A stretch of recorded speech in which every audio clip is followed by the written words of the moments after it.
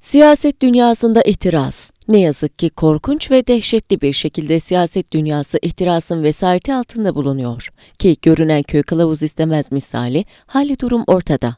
Her şey açık, manzara nettir. Zaten söze de gerek yok. Yakıcı, yıkıcı, virane edici, ucube yapıya dönen itirazsız siyaset toplumla çatışır haldedir. Kendini ne kadar sureti haktan gösterirse göstersin, karakteristik yapısıyla ayrı bir yörüngede seyrediyor. Milletse ayrı bir yörüngede kendini konumlandırıyor.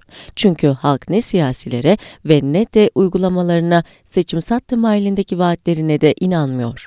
Kozmopolitleşen siyaset her aldığı nefesle daha bir kozmopolitleşiyor.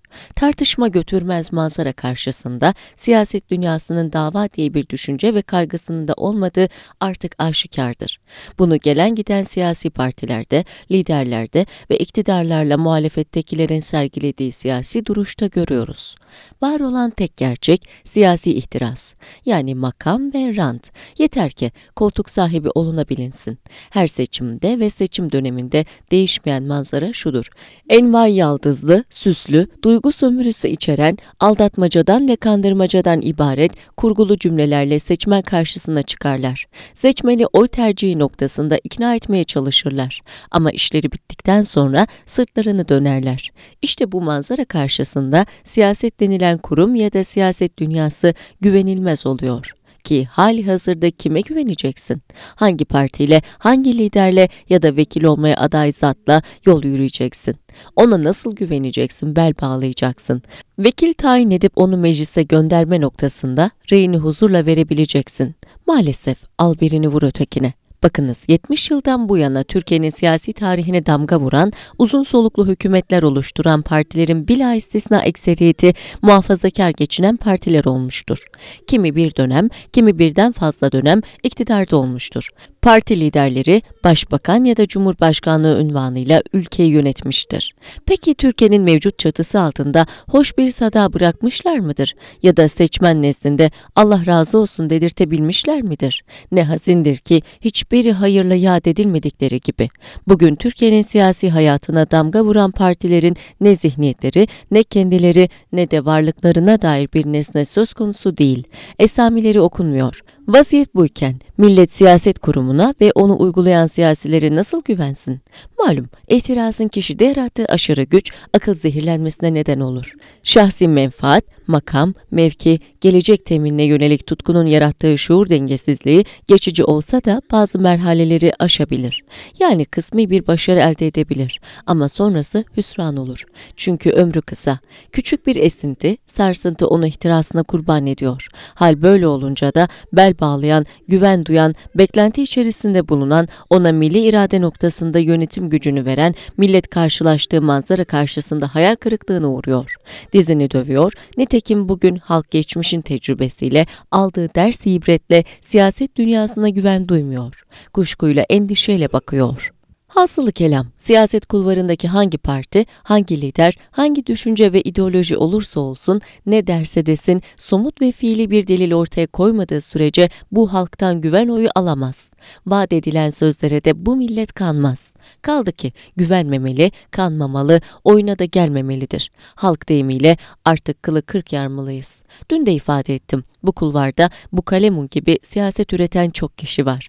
Diyarbakır'dan ya da bölgeden örnekler vermek gerekirse. Bakıyorsun ki adam muhafazakarlıktan dem vuruyor.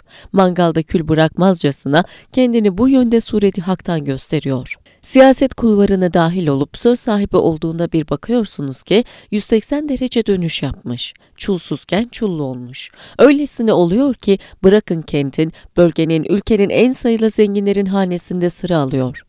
Muhafazakarlığınızda zerre miskali kalmamış. O hizmetkar görüntüsü gitmiş, gizli mahfillerin odak noktası haline gelmiş. En radikal, en aldatıcı siyasi ruhla hileli, kurgulu, organizeli, yıkıcı yapıların ittifakçısı kesilmiş ve büyük bir tahakkümle Diyarbakır başta olmak üzere bölgenin kaderiyle oynar hale geliyor.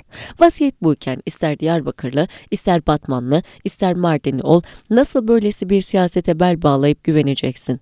Ya da nasıl bu siyasilere güveneceksin? Ha bir de parti parti turlayanlar var. Bir bakıyorsun şu partide, diğer gün başka bir partide. Yani ihtirasına cevap veren neresi varsa, rant temini kimden geliyorsa onun safında yer alıyor, kılıç çekiyor. Biliyorum mevcut duruma karşı peki ne yapmalıyız diyorsunuzdur. Allah aşkına deyin hele kime oy verelim? Kılıçdaroğlu'na mı verelim? Ne mümkün. Eğer ki bir Müslüman, inançlı ve dindar kişi, muhafazakar bir şahsiyet oyunu Kılıçdaroğlu'na verdiği takdirde bilmelidir ki o oyu direkt olarak İsmet İnönü'nün dinsizliği dayatan anlayışına vermiş olur. Laikliğe, Kemalizme, batıya ve batılı odaklı anlayışa oy vermiş olur. CHP'nin etrafındaki HDP'nin varlığı inkar edilemez. Onlar da kan ile iştirak içerisinde. Peki sonuç itibariyle seçmen olarak tavrımız ne olmalıdır? Ne yazık ki zorunlu olarak kötünün iyisine odaklanıp mevcudiyetin en iyisi muhafazakar görünen iktidar partisine yine Erdoğan'a oy vermeliyiz. Biliyorum burada da itirazınız olacak. Diyeceksiniz ki onlar da giderek kozmopolitleşiyorlar. Çünkü AK Parti bugün 2003 ruhunu taşımıyor. O günün ilkelerine sahip parti görünümünde değil, bünyesinde çok değişik anlayışa sahip kişiler türemiştir. Ve bu kişilerin aile fertlerine bakın maazallah. İşte Binali Yıldırım. Ailevi haline bakıyorsun dökülüyor. Bir oğlu var evlere şenlik. Kumar masasından kalkmıyor. içki masaları ve şarap şişelerinin devrilmesi vesaire vesaire. Böylesi insanlarla AK Parti'nin kalkıp oturması halkın vicdanına reva mıdır? Sadece Binali Yıldırım mı diyeceğiz? Onun gibi hayati yazıcı da var. Bu halk muhterem Cumhurbaşkanı'nın yüzü suyu hürmetine AK Parti'ye oy veriyor. Vaziyet buyken bundan sonra nasıl güvenecek? Cumhurbaşkanımız da böyle insanları partiye taşıdığı takdirde kendisiyle alakalı da soru işaretleri oluşmuyor değil.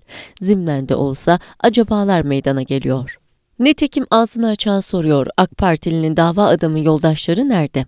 Millet merakla şu soruyu soruyor, cevabını bekliyor. Kime dersen bunu söylüyor. Mesela bugün Bülent Arınç nerede? Dava adamıydı. Abdullah Gül nerede? Ve onlar gibi daha kimler kimler sayabiliriz. Netice itibariyle AK Parti kozmopolitleşme hali kendi kendini bitirtiyor. Hele ki ırkçı anlayışı dayatan MHP ile olan ittifakı partiye ciddi bir güç kaybına yol açmaktadır. Telafisi nasıl sağlanır onu AK Parti kurmayları iyi düşünmesi gerekir. Tabii ki ders ibret alarak. Şunu net ifade etmem gerekirse Erdoğan sandık güvenliği ve görevlileri noktasında Hüdapar'la ittifak kurması en doğru ve akılcı hamle olduğunu söyleyebilirim. Sanmıyorum ki mahalle baskısı ve sandık başında hakimiyet HDP ve Kandil'de olsun. Eğer ki geçmişteki gibi olsaydı halk korkmasa dahi AK Parti'ye ve Hüdapar'a oy vermezdi. Çünkü sandık güvenli değil ama şimdi ibrenin tersine dönmesi bekleniyor. Koşullar değişti. En derin saygı ve sevgilerimle.